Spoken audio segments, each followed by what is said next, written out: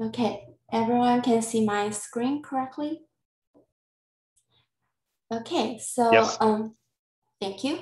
So um, please uh, feel free to interrupt or uh, have questions at the end. Either way is fine with me. So it is my great pleasure to share with you um, our recent uh, vision for soft robot, uh, soft electronics for human-centered robots. Um, as we all know, our uh, human civilization has already gone through uh, three industrial revolutions. And right now we are going through the fourth one, which is also called Industry 4.0. It includes, uh, it is called cyber physical systems, uh, and it includes things like uh, Internet of Things, um, 5G, robotics, um, big data, and uh, um, Internet of uh, Health, and so on. So uh, the key idea is to connect the cyber and the physical world. Um, for me, I would also like to add bio into this picture and call it a cyber physical biosystems, which means we also have to uh, digitize uh, the biosystems like human beings and then connect the digitized human beings into the internet. Indeed, uh, Elon Musk uh, had this concern that if humans cannot merge with machines or electronics, they will become irrelevant in the AI age. But if we look at the previous vision of um, human machine merging, we can clearly see the mismatch between uh, rigid, bulky, and digital machines versus uh, soft, deformable and um, analog human body. So uh, there is a big uh, gap in between and um, soft electronics is the technology that can bridge this gap. If uh, that picture is too uh, forward looking, um, you may appreciate those already available um, interactions uh, with human and uh, robots. For example, uh, augmented human capability, a robot doctor who can perform um, remote surgery uh, using robotic surgery machines. And um, specifically for human, we also need those um, soft robots for social interaction and medical or nursing cares. So in all of those uh, applications, uh, it involves the human-robot interaction and communication, uh, which requires digitizing the human body. But if we compare a human body, which is a soft machine with a conventional machine like a car, we can see the drastic uh, contrast that there are thousands of sensors in a car, but uh, there are rarely, um, rarely any sensors on human body. But uh, both uh, machines are radiating highly personal, continuous, distributed, and multimodal data about the health, the readiness, and specifically for human, the emotion and the intention. Currently, we are still missing um, high performance sensors that are wearable, long-term, and uh, robust for ambulatory sensing.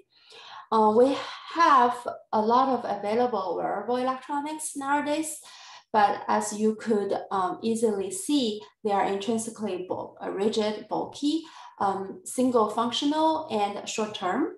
Um, our goal is to uh, build a skin soft, hair thin, a multimodal and long-term wearable electronic tattoo stickers that can be patched on any part of our skin uh, for multimodal uh, sensing and wireless communication.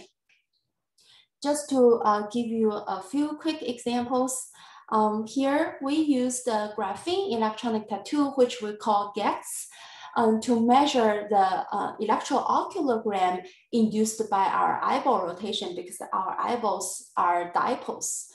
And uh, when we look up, down, left, right, we can um, send the EOG data wirelessly to a laptop here. And the laptop will convert our EOG signal to commands that can wirelessly control the drone. Because of the transparent and uh, imperceptible graphene e-tattoo, you cannot really see them. Barely you can see them through some reflection. Um, but uh, we are able to control a drone um, by just uh, um, rota rotating our eyeballs.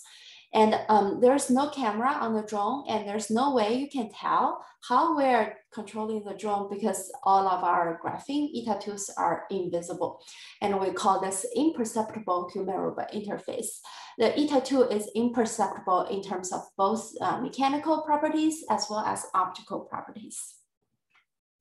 In the second example, uh, we have engineered very large area e-tattoo that can cover a very large surface of our skin, even if it's highly curvilinear.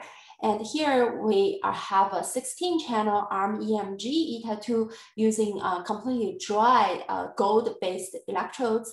And we can sense uh, many different muscle groups on our forearm that controls the motion of uh, five of our fingers.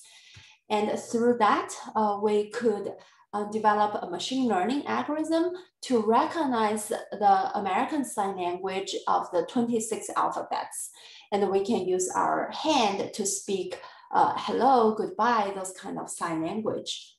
Of course, uh, because of this accurate sensing of all the individual fingers, uh, we can also um, do prosthesis control of individual fingers, even for um, left hand amputees. So this is another uh, human machine interaction example. But in addition to electronic tattoos, there is another big field called uh, electronic skins because in the future, uh, if uh, um, we want to interact with the robot, we want to make sure the robots also have um, human sensing capabilities, which need to use electronic skins to sense uh, temperature, uh, uh, pressure, moisture, texture, and so on. So this is uh, an art created by Dr. Park. So uh, there are many leaders in this field, uh, including uh, Professor Zhenan Bao, uh, Takao Someya, um, Daehyun Kim, and many others. And e-skin has gone through a uh, 40 years of uh, development already. So um, if we take a look at uh, pressure sensing mechanisms that are popular out there, uh, we have piezo-resistive uh, pressure sensors, which are easy to fabricate and have simple structure, but they uh, consume power and um, they are sensitive to temperature and other um, hysteresis effects. Um, there are also piezo-capacitive pressure sensors. Uh, they are very popular because of their high sensitivity and temperature independence and low power consumption. Um, there are also piezoelectric and triboelectric pressure sensors. Uh, they're also very popular. Uh, they can be self-powered, but they are not suitable for static pressure sensing. Um, there are also optical pressure sensors, um, but they have uh, a lot of complication in terms of the setup and power consumption. So because of this comparison, um, our group focused on um, piezo-capacitive pressure sensors. Um, just uh, before we talk about that, uh, I want to give you one example where we actually used the piezo-resistive pressure sensor because of their simple impl uh, implementation. And uh, uh, in collaboration with Professor uh, Qihwan Li at Purdue University, we engineered this multifunctional robot glove where we could have um, moisture sensor, temperature sensor, and pressure sensor all over distributed on this glove. And here, uh, the glove is able to sense um, shaking hand with human and also uh, sense the moisture of a diaper through the moisture sensor, for example. And we can also check uh, human temperature and so on. So this is one example using piezo-resistive pressure sensor. However, our focus today is the capacitive pressure sensor. As we all know, um, between a parallel uh, between two parallel plates, uh, if we have a dielectric material, uh, it can change capacitance when we apply pressure and deform the dielectric material. And this is the capacitance equation, which is proportional to the dielectric constant, the permittivity of air, and uh, the area of electrode divided by the distance between two electrodes. So if we plot the uh, relative capacitance change versus applied pressure, we normally see this kind of uh, nonlinear curve and the sensitivity uh, is uh, decaying as the temperature increase. Uh, this is because uh, when we um, write out the sensitivity equation, which is the derivative of this black curve, uh, we can see that it is proportional to one over the Young's modulus of the uh, deformable dielectric and also uh, the decay dp um, relation. And um, from this equation, we can find two ways to enhance the sensitivity of a capacitive pressure sensor, uh, which is reducing the modulus, making softer dielectric material, and also um, more advanced is to make the dielectric constant vary or increase with the applied pressure. So basically changing this term. And uh, indeed, uh, there has been a lot of efforts in both directions. Uh, first is uh, to engineer the dielectric material to have, for example, uh, surface patterns like pyramids or using a foam material or a porous network um, to reduce the effective compressive modulus. And also because uh, the air gap is uh, gradually replaced by the polymer matrix or the uh, nanowire matrix, there could be an enhancement of dielectric constant with pressure as we compress, the air is squeezed and the um, solid takes over. So uh, following this uh, idea, um, there are also a lot of work uh, trying to build even higher K dielectric material so that we can have more effective decay DP enhancement. So uh, by that, people can dope polymer with uh, um, conductive fillers and they can increase the dielectric constant from three uh, up to 10, 20, and so on. So uh, however, after um, many years of uh, development, uh, both ideas have been already extensively explored. Even so, um, if we plot the sensitivity versus pressure, the um, tangential sensitivity, local sensitivity, we still see a significant decay of the sensitivity uh, as we uh, enter large pressure range. And uh, indeed, uh, this still remains to be a challenging area.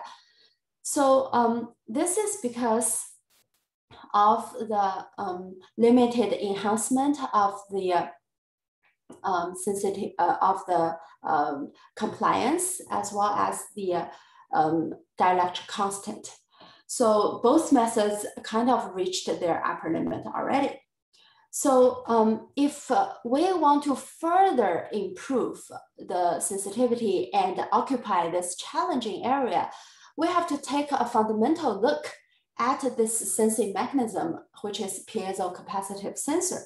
So in this uh, mechanism, only capacitance is changing due to pressure. However, if we can engineer a capacitive pressure sensor with porous nanocomposite, which is electrically conductive, we have this kind of structure. We have both piezo resistive contribution and piezo capacitive contribution.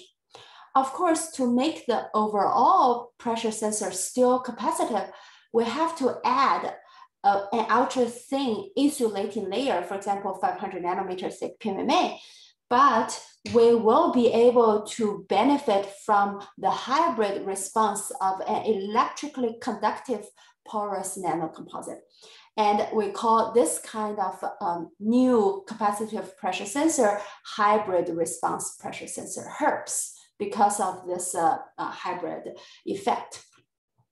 So our hypothesis is that we could further enhance the capacitive pressure sensor sensitivity over large pressure range through this HERPS mechanism. So to manufacture this HERPS, uh, we have to dope uh, functionalized CNT uh, with uh, EcoFlex. And then we uh, dip coat a commercially available nickel foam into this uh, um, mixture and then um, by etching away the nickel foam, we can end up with just the uh, conductive polymer. So uh, we want to emphasize the effect of sonication to ensure a very uniform distribution of the functionalized CNT. So this was uh, the nickel foam. And after etching away the nickel foam, we end up with the CNT doped porous nanocomposite. Um, it has very large pores. Therefore, the composite is squeezed into very thin and hollow uh, ligaments. And because of that, we need a relatively low doping concentration, like only 0.25% uh, CNT would make it electrically conductive. The porosity is very high, 86%. Therefore, this uh, uh, CNT EcoFlex uh, foam is uh, very, very soft.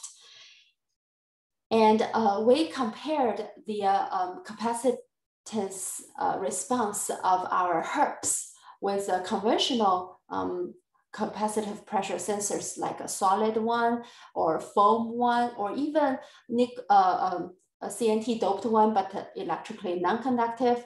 And we compared all of them together. What we found is this. This is a plot of the relative capacitance change versus pressure. The red ones uh, represent the solid ones. So the EcoFlex is pink, the um, solid but uh, uh, CNT doped one is a black, uh, is red. So both of the solid ones are not very sensitive as we could appreciate. The green ones are the porous ones, which are not conductive you can see compared with solid ones, the porous ones are more sensitive.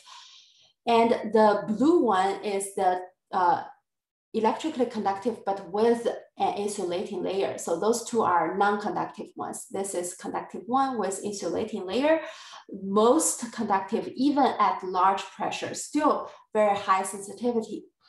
If we uh, plot uh, our HERPS response in this uh, um, sensitivity pressure chart, we could reach a very significant enhancement as you could see, and push the envelope further into this upper right region.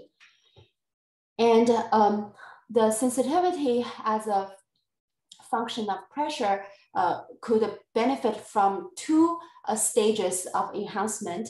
As we already mentioned, the first uh, enhancement comes from the porosity, the second enhancement comes from the electrical conductivity because at a small mm, pressure, it is uh, indeed very piezo capacitive, capacitive, but at high pressure, uh, piezo resistivity also kicks in, and that gives us the second stage of enhancement.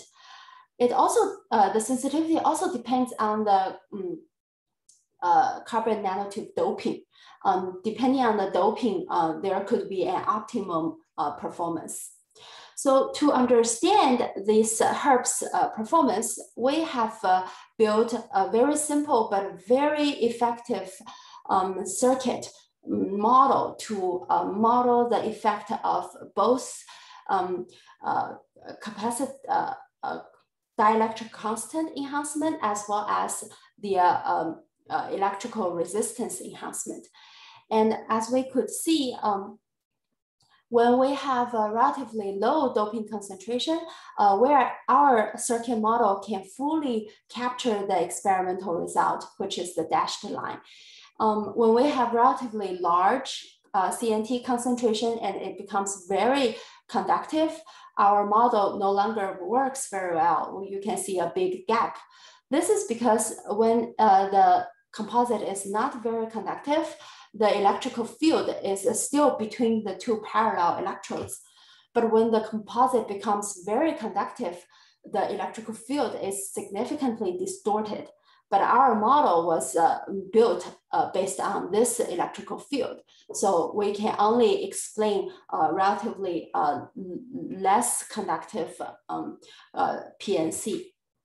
So this kind of highly uh, sensitive PNC could be integrated on robotic finger. That's what we're still working on. But here we're demonstrating its high sensitivity to measure very subtle uh, physiological signals like uh, pulse waves. We all know that uh, measuring uh, pulse waves is highly challenging because of the uh, very small um, pressure, like uh, uh, sometimes could be less than uh, one kilopascal. But using our HERPs, we could easily see this um, PTD characteristic wave forms according to the invasive gold standard measurement of the carotid artery pulse. And on the wrist, over the radial artery, we can still measure the radial artery pulse. And uh, the most subtle pulse is actually the temporal artery pulse on our uh, head.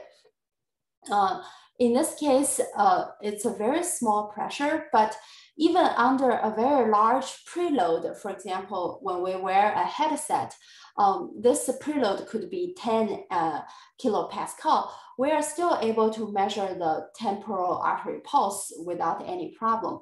So this indicates the benefit of high sensitivity at large pressure so that we can still measure this very subtle pulse.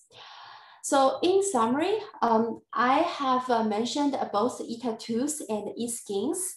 E-tattoos are for human wear, whereas e-skins are for robot wear.